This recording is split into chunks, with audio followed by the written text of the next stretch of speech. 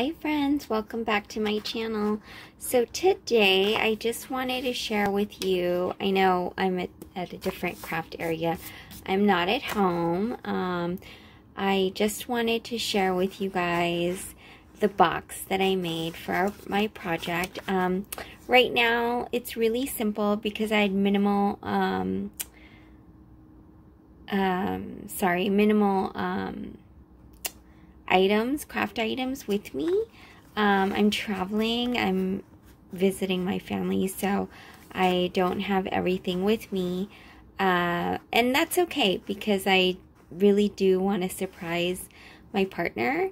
I made her an additional gift um, in addition to what I have in the box.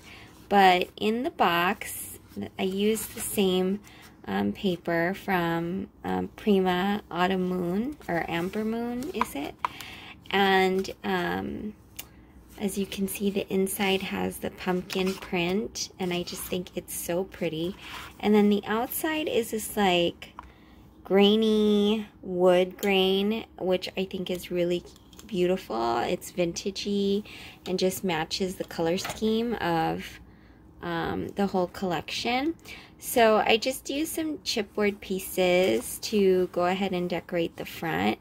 Um, like I said, I do plan to add a little bit more. I think I'm going to add flowers to give it a little more, um, more like pizzazz. And then um, I'm going to add some Velcro dots here to close up the, the box. And then I may add some trim just to wrap it up. But the inside of the box is here. And I will link the tutorial that I followed down below. I was inspired by Desi over at Happy to Create. She's also participating in this collab. She made this box for um, for some fall embellishments she made um, for our meetup. And she made this exact same box. So I'll link the tutorial down below. But um, I just really love how her box came out, so I wanted to go ahead and uh, follow the tutorial that she recommended, and I loved it. I thought the box was really easy to make, and everything fit perfectly inside. I did make my partner some additional bows to match the flowers that I made her. I don't have the flowers with me yet, but this is, I just wanted to show you guys what it would be look like with everything packed. Um, the packaging uh, of course, this is not the final packaging, so I'll um, film another video with everything completely finished and my special project for my partner also finished um, when I return back home on Monday from out of town. I'm visiting my family. It's my dad's one year anniversary from his death. So, um, yeah, that's why I don't have all my craft things with me. But I just wanted to show you guys this simple box that I made.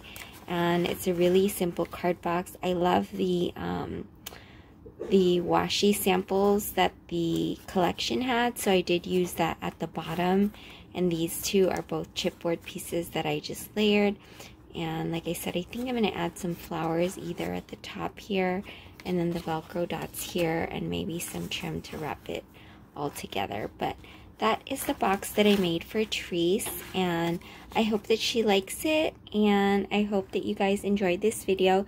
Please feel free to check out all the other ladies who participated in the collab and I will have a final video for you guys on Monday. Thanks so much for joining me. Bye guys!